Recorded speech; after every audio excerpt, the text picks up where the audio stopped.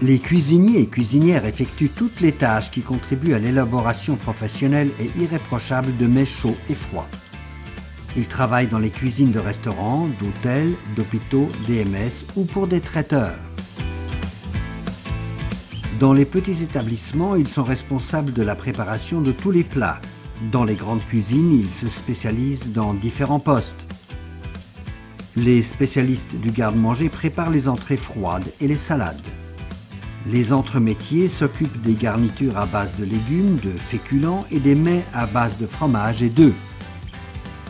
Au poste de saucier, ils sont responsables des poissons, des viandes et des sauces. En pâtisserie, les cuisiniers préparent les desserts et les entremets sucrés.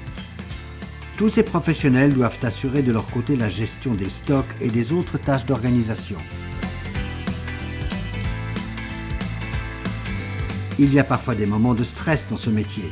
Et en plus, il ne faut pas avoir peur des horaires de travail irréguliers. Les cuisiniers et les cuisinières travaillent en équipe.